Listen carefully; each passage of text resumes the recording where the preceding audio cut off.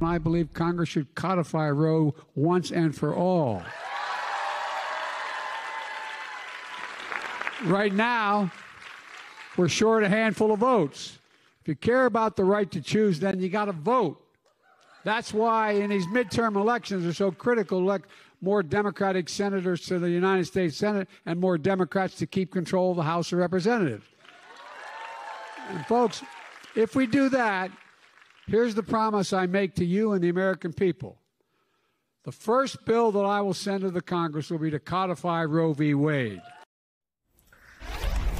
President Joe Biden today promising to make codifying Roe v. Wade his top priority, the first bill he sends, if Democrats strengthen control of the House and Senate in the midterms just three weeks away. New polling finds that the vast majority, 80% of Americans, say abortion is important in determining who they will vote for this November. However, it does rank behind economic issues like inflation that Americans are looking to when deciding who to vote. Joining us now, White House Deputy Chief of Staff Jen O'Malley Dillon. Um, Jen, we were just talking, Michael Steele and Donna Edwards and I, about this this economic argument that doesn't seem to be getting made. Um, by too many Democrats on the trail. And, and I, you and I both know in local races what, what, candidates hate the most is when people in Washington and New York say, hey, here's an idea, but uh, I'll go there anyway economies don't flourish in autocracies, and that's where Republicans are seeking to take the country. Do you do you see kind of helping candidates pull all this together, the democracy argument and the economic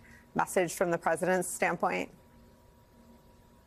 Yeah, absolutely. And thanks for having me. It's great to be back with you today. You know, I think the president has been very clear about this as he has talked about the contrast uh, that exists between his vision and Democrat elected officials' vision uh, for the path forward and uh, Republicans and the extreme MAGA agenda that all of these elements come together. You heard the president today, but you also heard him um, from uh, the day the decision came through on Dobbs about how extreme that was, rolling back 50 years of law, women's rights uh, to their own reproductive health, having politicians make decisions about women's rights uh, in this country. And he made clear today, as he had from the beginning, that what we all need to do is codify Roe, that he certainly tasked the administration with doing everything possible to protect women's rights. Uh, he has been doing that, and the administration's been doing that, whether it's access to reproductive care now, access to travel, protecting privacy, but ultimately we have to codify Roe.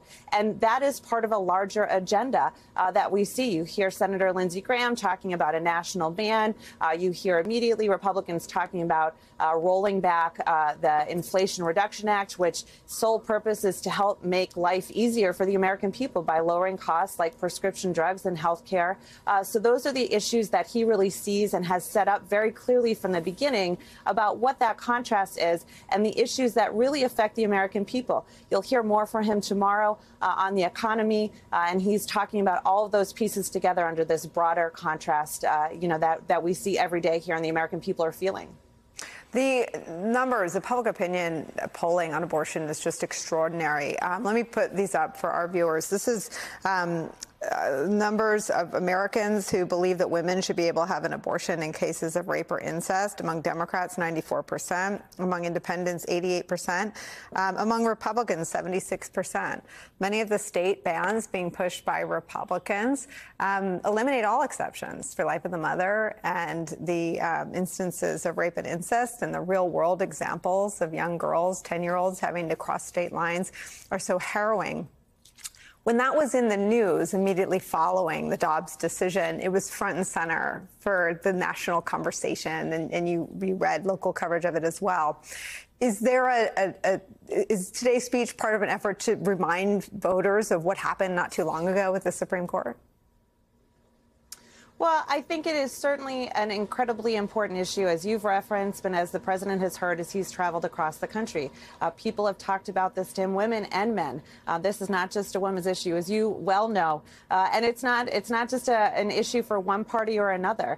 And so, what we um, you know believe and what we're seeing, what the president's hearing, is how critical this is and how it is such a significant example of that contrast. Uh, and it is not just uh, what you know what needs to happen to codify Roe So, you know, you, you look at, you know, as I already mentioned, Senator Graham and a national ban, um, 16 states that have uh, more extreme uh, bans with no exceptions moving forward. I mean, we're talking about in Wisconsin and Arizona, uh, laws that have been on the books since the 1800s. Now, um, you know, having Republican elected officials uh, pushing to have those move forward. And on top of the chaos uh, that is existing on whether or not somebody can get a prescription for something that has nothing uh, to do with reproductive health, but it's got it, gotten caught up in this confusion that's been created. So I think fundamentally, uh, the president knows that we have to talk about issues that matter most to the American people. Uh, he is really reflecting on what he hears as he's traveling the country. Uh, this is part of a bigger uh, contrast, as, as I've said, uh, that really ties into what is at stake and that extreme um, agenda on the Republican elected officials that they've made abundantly clear, and he wants to make sure that we continue to talk about the things that uh, we believe the American people have a right to hear about, uh, that they're concerned about their own rights, uh, and that really ties into the broader, um, you know, economic conversation. All of these pieces, as you've noted and your panel noted before, are interconnected, and that's what he's talking about.